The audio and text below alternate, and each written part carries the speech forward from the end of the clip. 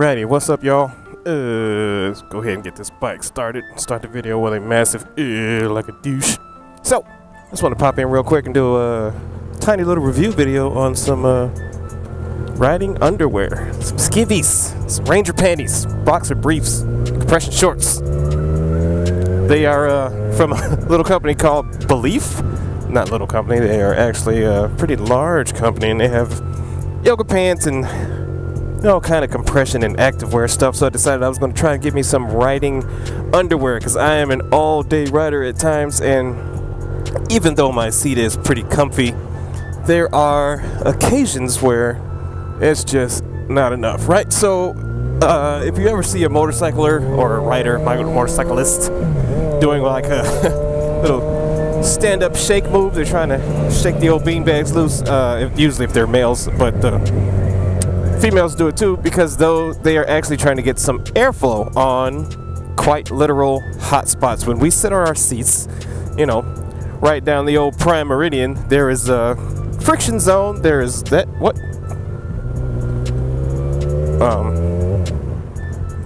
I I'm sorry. That was just dude is backing up down the oncoming traffic lane. The things you see while riding. Anywho, so right down the center line on both left and right side of the butt cheeks, if you will, can be a high high friction area. You know, you get heat, moisture, you start to sweat, and then after a while it just becomes uncomfortable.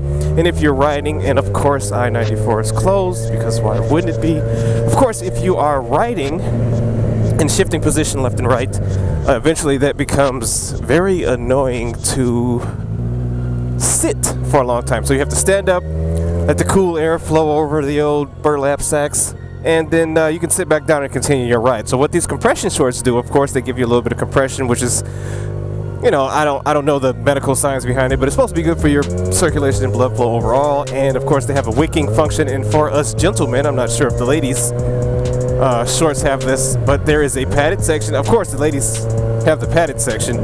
There was nothing behind me. This guy could have just waited and got over.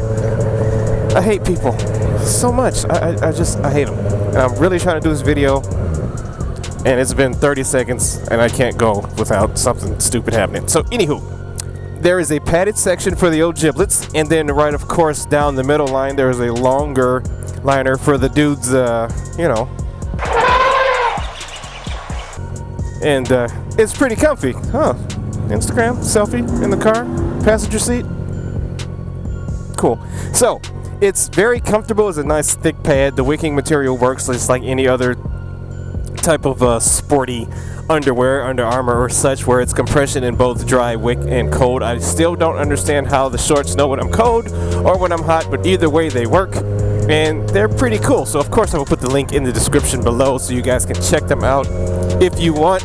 Uh, of course you're not going to see a picture of me in my freaking undies in this video, but I did, you know, want to throw up how they actually look. A couple reviews say they run small, so you might want to get a larger size. I like tight compression shorts because I believe they're supposed to compress. I don't want to just be swinging in the wind, but that's me. I like to have the old, you know, FedEx. I gotta have the package secure, you know. So I just don't want to be uh, have compression shorts on for the title. I need them to actually compress because sometimes, you know, just like they say on most shipping containers, things shift during travel. So they uh, stay where they're supposed to be when I'm riding, and uh, it pretty much gives me about an extra hour of riding. Now, it might not seem like a lot for a lot of people, like, oh, great, an hour, but you can go pretty far on a motorcycle in an hour, and of course, just like if you were sitting at work in a meeting or if you were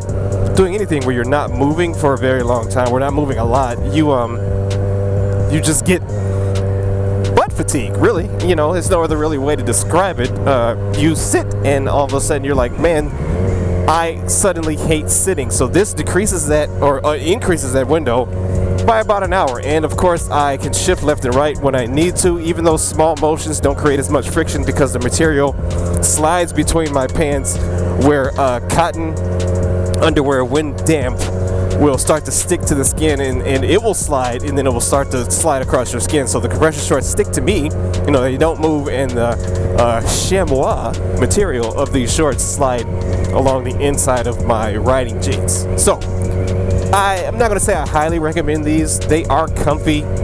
They're better than just plain old underwear. And uh, like I said, they give you about an hour riding, and that's just me. This is very subjective review because you may grab a pair and completely hate them. Uh, I suggest checking them out. They're pretty cheap. They're 20, 30 bucks for a single pair. I mean, it's not bad for what they're supposed to do. And like I said, for me specifically, they uh, you might want to get a larger pair because they do run small, but I like the snug fit. Might not be so if I keep riding with them, but I've had them for about a month, and uh, it seemed to be a good fit so far. Anywho, I'm out, about to go ride, get some food, as is my normal journey in life, and I will uh, catch you guys later. If I can ever make it to I 94, because life. Anywho, I'm out. Thanks for watching. Oh yeah, forgot to do my arbitrary. Check me out on Instagram and then look at all my photos and such. But I'm pretty sure you guys get the gist of any YouTube channel. Go ahead and hit that thumbs up if you like this content or anything else I've provided. And I also said, forgot to say hi to what's up and you know what's up y'all to all my randos and noobs. All you guys checking me out for the first time. So of course, I have to say it now because I forgot it in the beginning and. Uh, I feel like that's the thing that I should do. You know, you got to say hi to your new folks. Can't treat them like they're nothing. And of course, my subscribers, I appreciate you guys for subscribing and sticking with me through all my shenanigans. And uh, for the third or fourth time, I'm done yapping. Catch you later.